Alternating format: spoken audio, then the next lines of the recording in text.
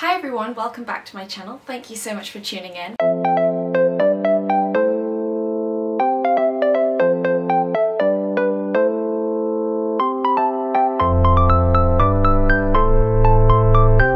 This week I'm in another different location. I'm just like hopping around people's houses. Not really. This is my dad's house um, and I've moved out of my flat in London and I do not yet have a place to move into in Bristol. So welcome to my new temporary abode. I think it's looking pretty nice at the moment and I've got all my stuff from my previous room so it's already feeling very homely which is lovely. On that note I apologise if there are lots of building noises. It's because there's lots of building going on um, just across the road so if you can hear drilling or whatever they do in building. I can't really help that, I'm afraid, but hopefully you can still hear me okay and that it's not too distracting. At least I don't have Fian like typing in the background like I did in Dorset, so it was his room, so I couldn't exactly kick him out. This week I got a couple of requests of people asking if I could do a vlog on how to get off a fitness plateau. So I guess with so many people having started running at the beginning of lockdown um, or thereabouts, they will have seen improvements really quickly, as anyone does with a new routine in fitness fitness or with a lot of things,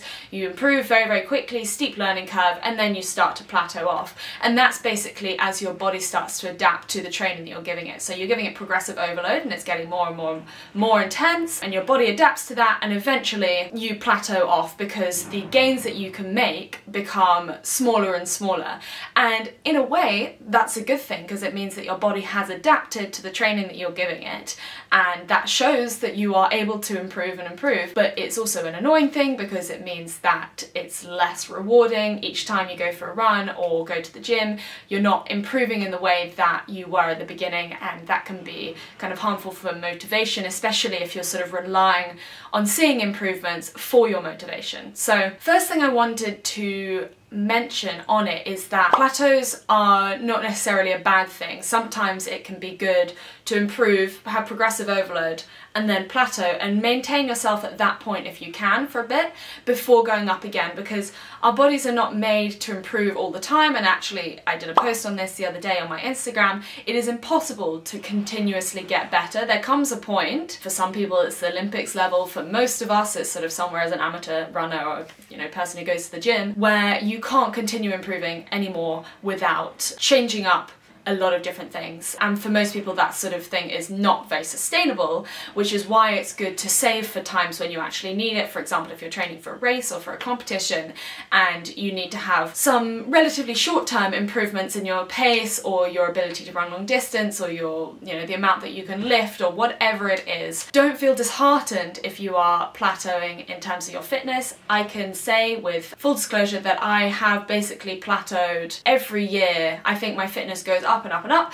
and then it goes down a little bit. But then, from that point, after it's gone down, it goes up and up and up next time I have to train for a race. So even if you feel like you're losing fitness, you're already, you're still at a higher baseline than you were obviously when you started training. So don't worry about it too much, be kind to your body. It is doing the best that it can. But with that said, I'm going to give a couple of tips of how to get off a plateau if that is what you want. The first tip is going to sound a bit strange, but it is make sure your recovery is on point. So a lot of fitness benefits are made in the time between the points that you're actually doing your running or going to the gym. It is not the case that more is always better and I think Obviously, if you are going to be running more and more and more, you may see improvements, but you may also injure yourself and you may actually lose your interest for running. Maybe you're not going to enjoy it anymore. Recovery is one thing that we can all control that actually has a massive benefit when it comes to actually the progress that we can see. So for example, the micro tears that you make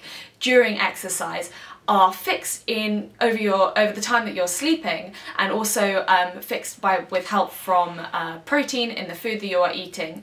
So if you're not eating enough protein if you're not having enough food in general and that's a really important point you've got to have enough calories. And if you're not getting your eight hours a night or as close to it as you possibly can you're not going to be seeing the fitness benefits that you could be. And same goes for things like stretching um, and for warming up as well. Those things are very important important for some people, less important for others. But if you're not doing everything you can to aid recovery, then you're not going to be seeing the fitness benefits that you possibly could. So take a look at your routine, take a look at the last week, and if you actually were running every single day or you were trying to do a lot of different stuff, then that might be hindering the amount that you can actually train. And then if you can't train at the intensity that you would like to train, you're not going to see the benefits that you would like to see. So yeah, rest is really, really important. The next point, and probably the most important other than rest when it comes to improvements, is make sure you have variety. And I think it can get really easy to get a bit complacent and start to go out for things go out for runs that you feel comfortable with.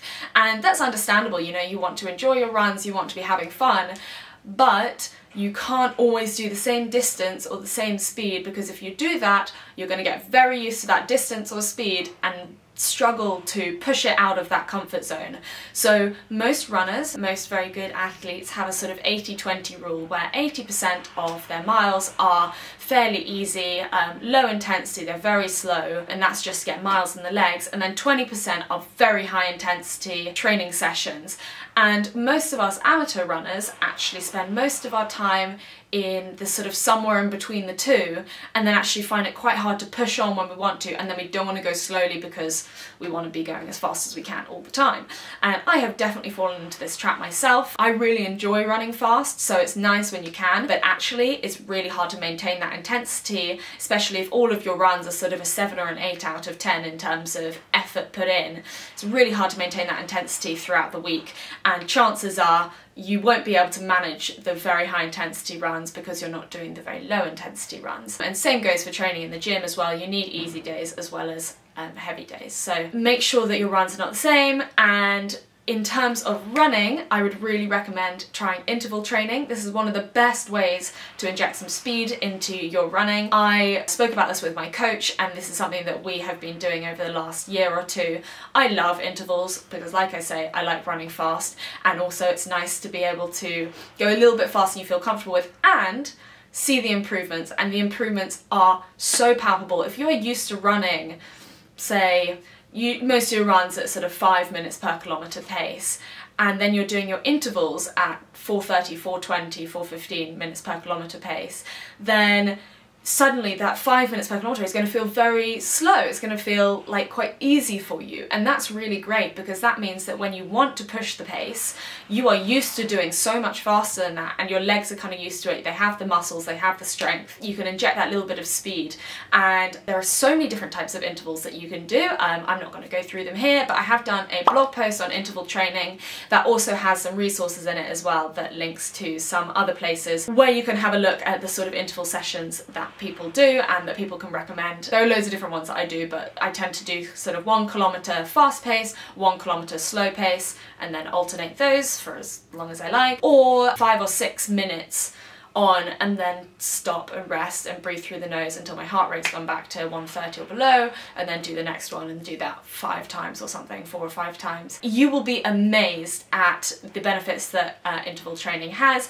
It has been shown to have the same benefits as longer runs but in a much shorter space of time and that is also really good if you are lacking in time um, for your exercise. The next uh, point is cross training and this is something that I mention on a lot of my vlogs. Cross training, strength and conditioning work. Basically, again, it's a form of variety in your training. It's so, so, so important. A lot of people who like running just like running and don't necessarily enjoy um, lifting weights or doing physiotherapy sessions or strength and conditioning, anything with resistance, maybe they're not going to enjoy so much. Likewise with anyone who goes to the gym, maybe they are avoiding cardio like the plague. Having this sort of cross training, it may feel counterproductive initially because maybe you can't fit in the same mileage as you're doing because you are doing different stuff as well. When it comes to becoming a stronger runner and being able to put your body through increased amount of stress, and by stress I mean mileage, cross training is absolutely vital and it it might feel like taking a step back initially,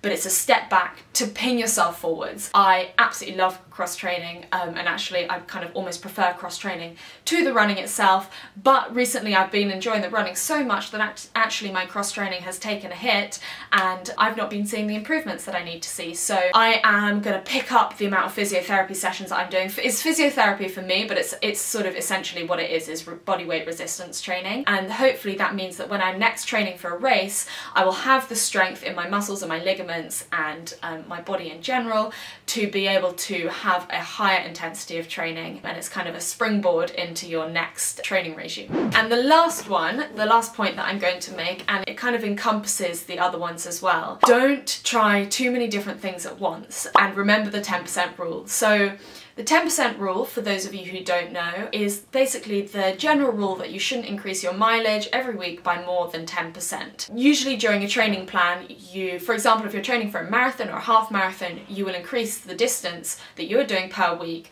by up to 10%. Any more than 10% and you are actually at an increased risk of injury and you might have to take a couple of steps back before being able to go ahead again. The body can only handle so much. The 10% rule is kind of frustrating in a way that it feels like it might limit the amount that you can do, especially if you're feeling good, if you're feeling fresh, you might want to be out there doing more. But it's there basically to protect you and to make sure that the adaptive changes that you're making are adaptive and not harmful. And I think that's a trap that a lot of people fall into when they get quite excited about their running or their start or they start to feel very fit and strong and capable. That's great, but just take it easy. Progress made slowly tends to be more sustainable than progress made very quickly whereby you might get injured or lose interest in whatever you are doing. And the point on don't try too many things at once is really important. I know I've mentioned lots of different things that you could be doing to get off a plateau, but other than the taking more rest, which definitely should be done for everyone and can be done with these other things, don't try to increase your distance, your intensity, intervals training, sprints, uh, doing resistance training. Don't try all of that at the same time. Chances are your body will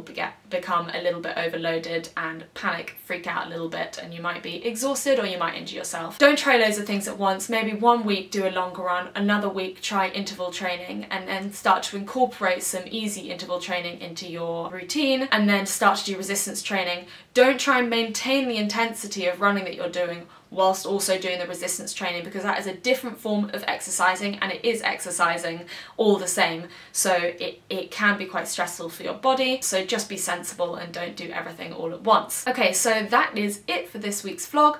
Nice and short, I hope it was helpful for you guys. Remember it is impossible to be improving all the time. It can be really frustrating to not be seeing the benefits that you were initially seeing when you started a training regime. We've all been there and especially as a relatively new runner, um, my myself. You know, I'm used to seeing improvements week on week and also I feel like every run should be kind of as fast as I can make it or as good as I can make it. I feel like every run should be the perfect run and that's just not possible and obviously for runners who have been out there doing it for a long period of time that'll seem so obvious like not every run is going to be great and not every run should be fast. That seems really obvious to people who have been doing running for a long time but for any newbies, anyone who is kind of competitive with themselves, that can be quite difficult to grasp in your head so just be kind to your body and remember that we are only human and we can can only do what we can do and the body takes time to adapt so give it some time. I hope you get off your fitness plateaus. I hope you enjoyed this video as well. If you did enjoy it please do give it a thumbs up and hit the subscribe button. Come and find me over on Instagram um, and share this vlog if you think anyone else will find it useful. Thanks so much for watching. Bye!